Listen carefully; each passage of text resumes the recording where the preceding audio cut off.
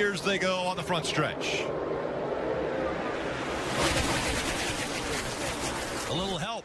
And now everyone fanning out, fighting for themselves. The double zero, Cole Custer to the inside, three wide, fighting for that second spot. Tight squeeze for second. It's Tyler Reddick flying around the outside of Ty Dillon.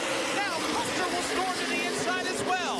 Side by side for second. That allows Justin Allgaier As you see them blocking and moving around, jockeying for position. Justin Allgaier gets away. Tyler Reddick's got the push and Ty Dillon. We've seen that bottom lane is just a sitting duck on the restarts. Three wide down into turn three again. Oh. The one car. Oh, we got one around. Ty Dillon into the one. Hard into the wall. Wow. Elliott Sadler caught up the one car. And a lot more damage. Cars getting into the grass, and we know that there's so much moisture in the grass, tearing cars apart. They were covered on our inside. Gloves off. It's going to be the end of the day for the one Elliott Sadler. Heavy, heavy contact.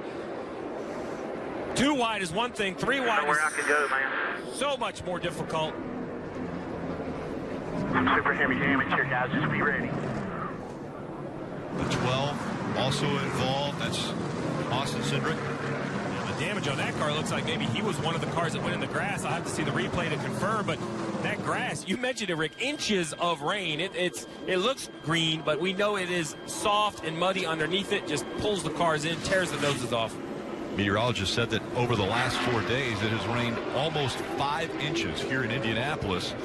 So they wanted to avoid getting into the grass, but this was this was three cars fighting for real estate, and it wasn't there.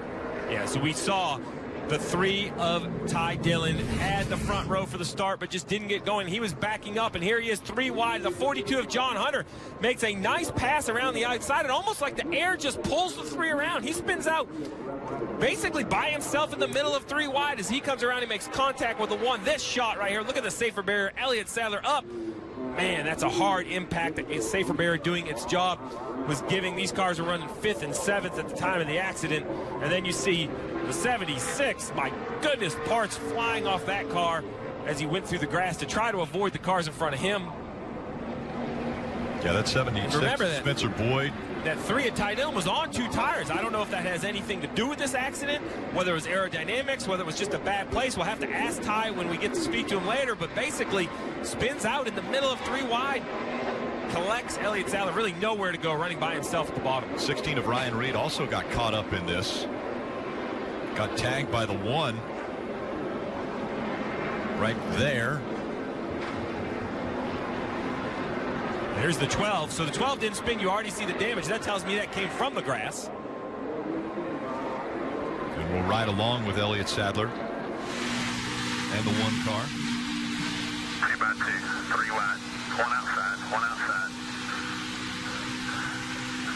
You have no pusher behind you. It's two back to two wide. Good to push hard when you get there. Nothing in front of double zero. Outside line. Here comes the run behind you. Big run behind you. Still three wide. Clear high. Inside. Inside, inside, inside. Oh, we were screwed there. That's Brett Griffin's voice. We actually had dinner with Brett Griffin yesterday, and uh, this is a difficult situation for the one of Elliott Sadler. Announced his